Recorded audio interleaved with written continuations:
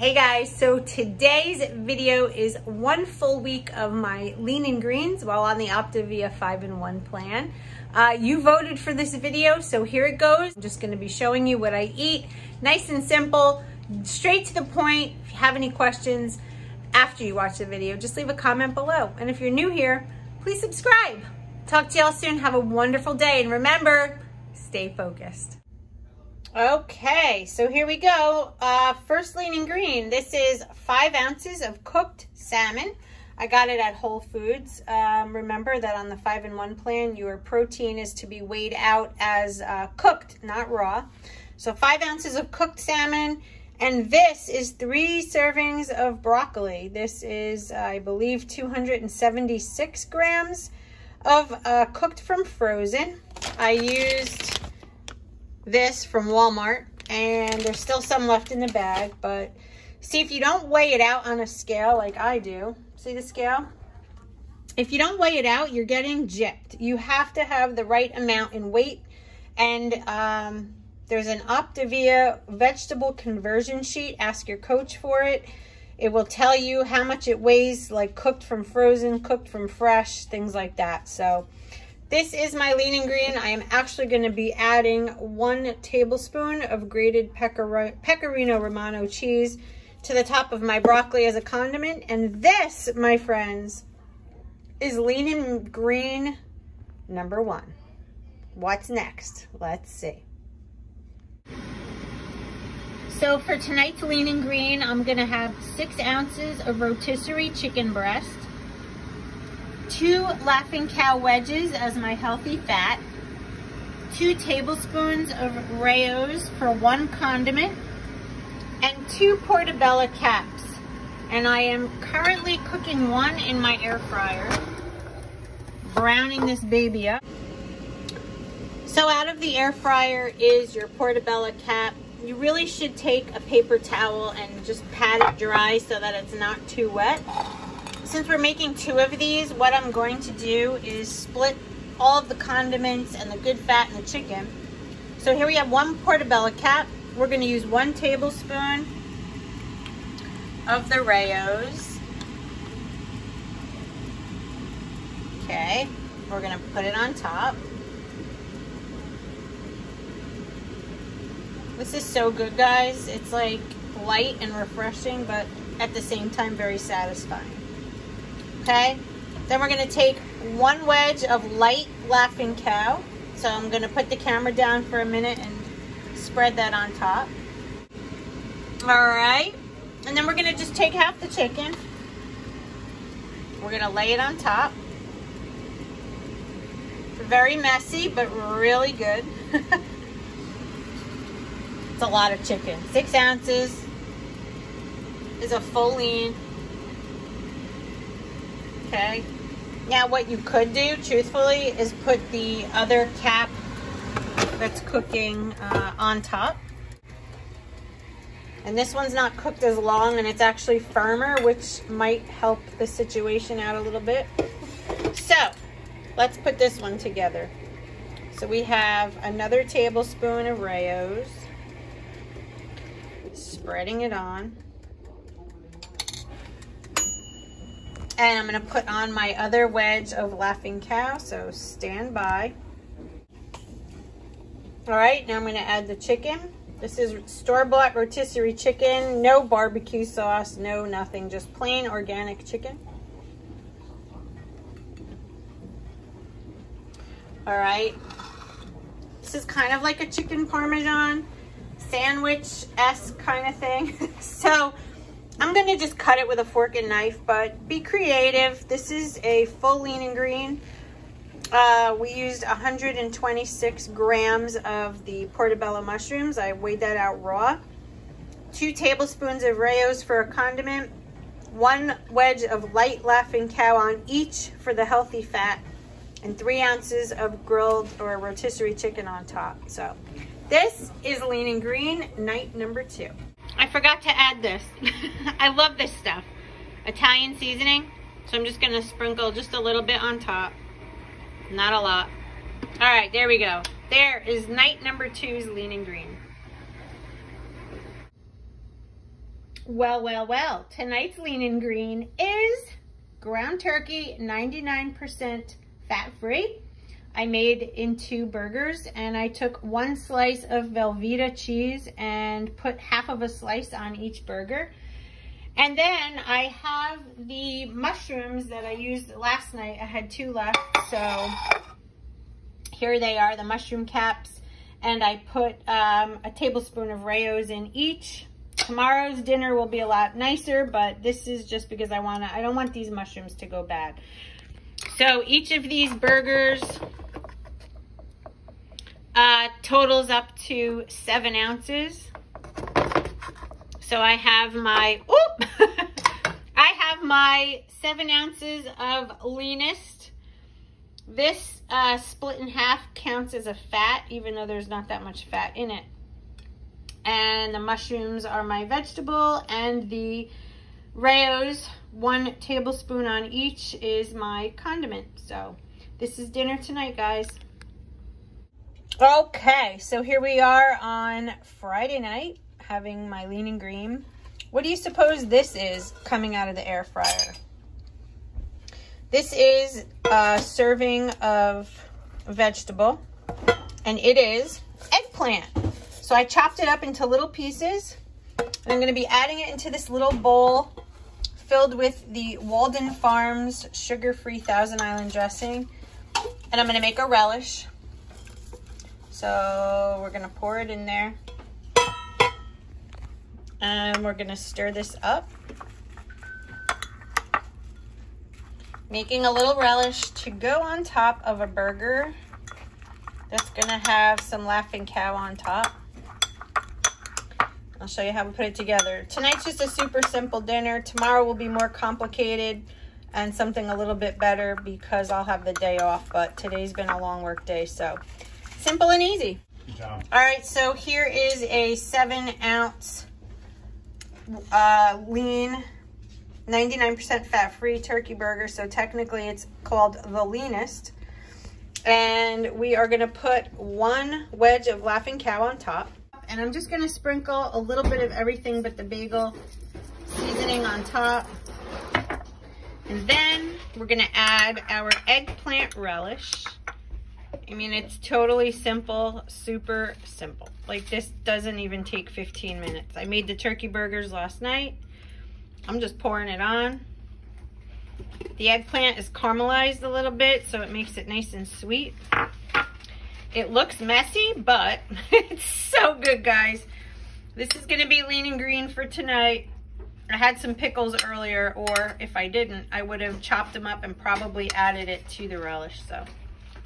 Anyway, I'm gonna go eat this and I will see you guys tomorrow. We are going to be making a really good meal tomorrow, so be prepared. So tonight's Lean and Green is coming to you after being caught in a downpour. ah! All right, so it is uh, actually quite the dinner because I'm soaking wet. I have to take a shower, but I gotta get it started. So it's a comfort food for me. This is spaghetti squash lasagna. And the recipe is from Sandy's Kitchen, none other than my friend Sandy.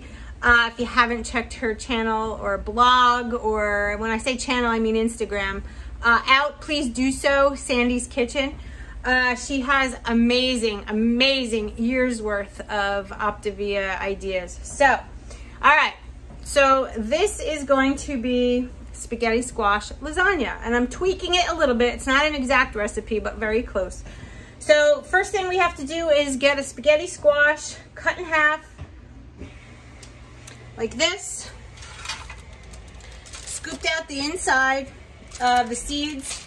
And now what we're gonna do is take a little bit of cooking spray and just spray lightly around the top and put some salt and pepper on it. And then we're gonna flip them upside down and put them in the oven. So I'm gonna show you how that works.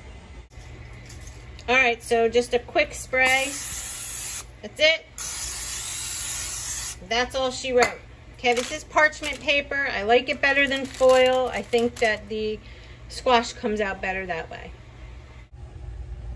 All right, guys, so I'm gonna use a little bit of pink Himalayan salt and I spray, I sprinkle it in my hand because I like to control the amount I'm gonna use. See the crystals? And just lightly sprinkle on top.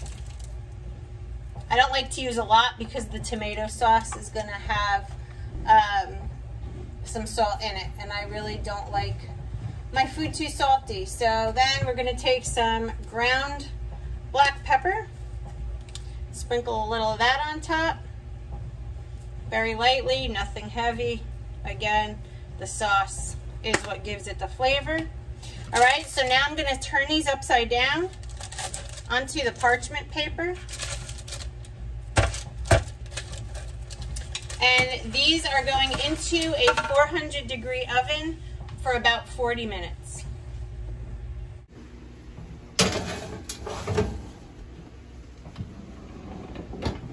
So while the um, spaghetti squash is cooking in the oven, I'm gonna take this package of uh, ground turkey and brown it up in a pan. Sandy's recipe calls for Jennie-O Italian sweet sausage, uh, but I could not find that anywhere. So I'm just gonna use this ground turkey and I'm gonna doll it up with some seasoning. So let's get that started.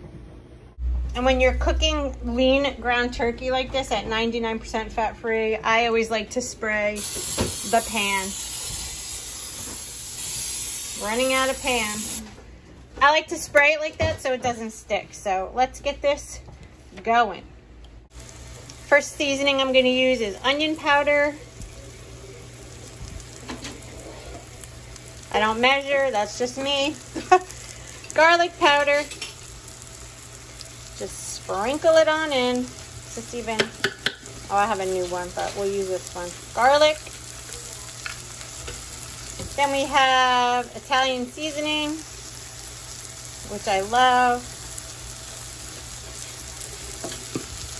Then I use some whole oregano.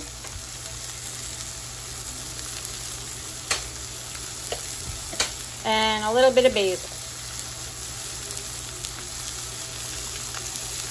All right, now let's get mixing.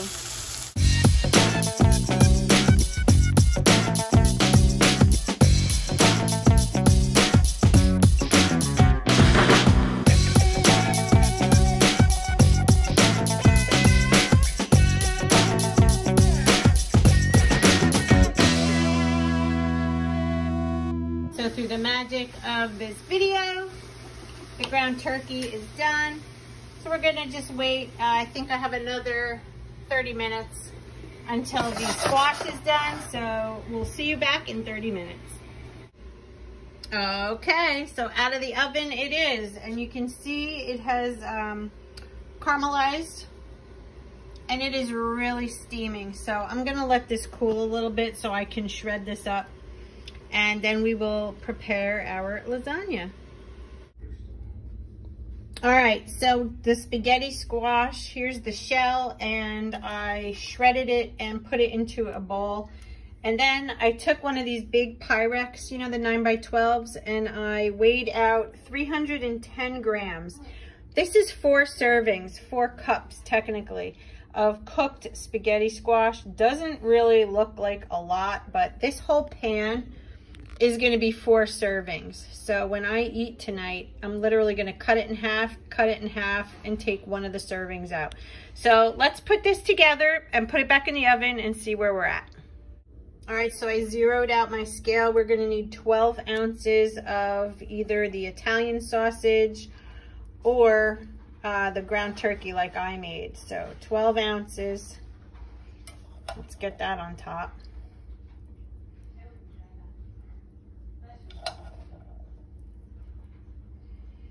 Right now we're at five ounces. My hands are washed, just in case you're asking. I don't do anything with dirty hands. No, no, no. So we're at seven ounces. I'm trying to make it as even as I can. Nine ounces, 10. Still at 10 get some on the ends, 11 ounces, 12 ounces. Okay, there's 12 ounces and it's pretty even, give or take. Don't forget, this is four meals worth. All right, let's get our next layer going. So since we're making four servings, it would typically be a quarter of a cup, but I'm doing one full cup. Here it is. And we are gonna put this right on top of our mixture here. Gonna try to do this as even as I can.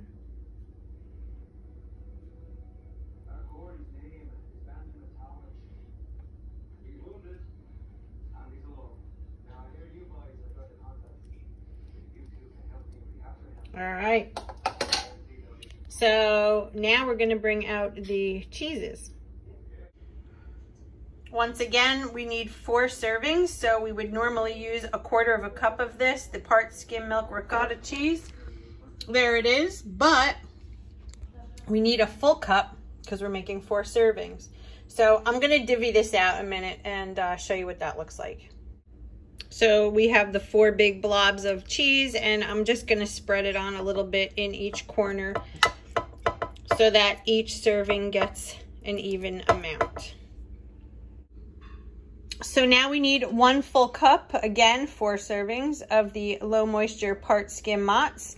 So because I like to weigh everything out, um, it says on here that it is 28 grams for a quarter cup. So 28 times four is 112, I believe. So let's set the scale for grams. Oh, I got some sauce on it. Um, we're at ounces. Let's go to grams. It's at zero.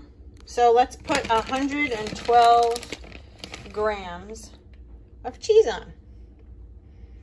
How good does this look, guys? Oh my goodness. The reason I stick close to the edges is because I like the edges.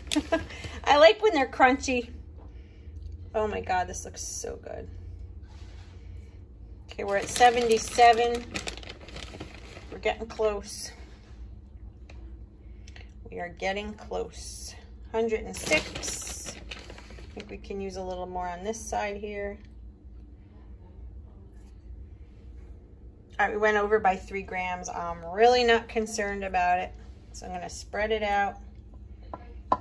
You can clearly see the line of demarcation here that we're gonna use. I'm gonna sprinkle a little bit of Italian seasoning on top and I will be right back. All done, there's the Italian seasoning on top of everything. So now I'm gonna go put this back into my oven, but I lowered the temperature to uh, 350 degrees and I'm gonna just put this in for, I don't know, probably, whoops, I don't know, maybe like 15 minutes or so. I'll be back and we'll check it out. Okay, so it's out of the oven. Look at this, guys. I guess I could have let the cheese melt a little bit more, but I'm an hour and a half past the time I'm supposed to eat and I'm starving right now. So I'm gonna cut a slice of this. Remember, this is four servings. So I'm gonna plate it up and let's test it out. So as you can see, one quarter of this dinner is now served, which really gives you a huge portion. Now this is a salad plate, it's a smaller plate, um, but check out the amount of food that's on here. It's crazy. We have spaghetti squash at the bottom, the ground turkey, the ricotta cheese, the mozzarella cheese, the Rao's sauce, Italian seasoning. So I'm gonna take a bite of this and tell you how what I think. Looks really good. So let's switch the camera around.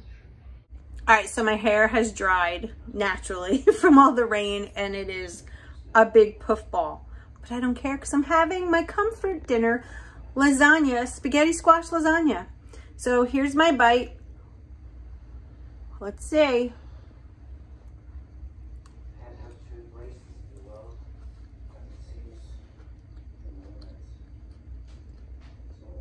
Very good. Wow. All right, I'm to do another bite. The cheese is just hanging off.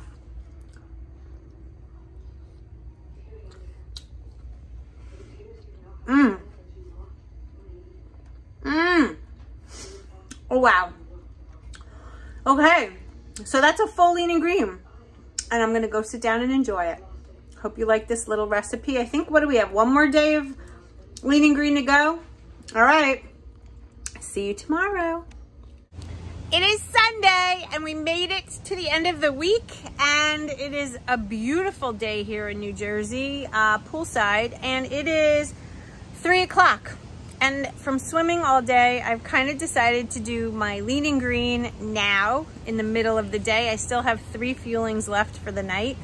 So um, because it's that kind of day and I'm swimming and enjoying the day with my family, I decided to just have a leftover. I'm sorry, guys. I'm not making something special today, so this is what I'm having.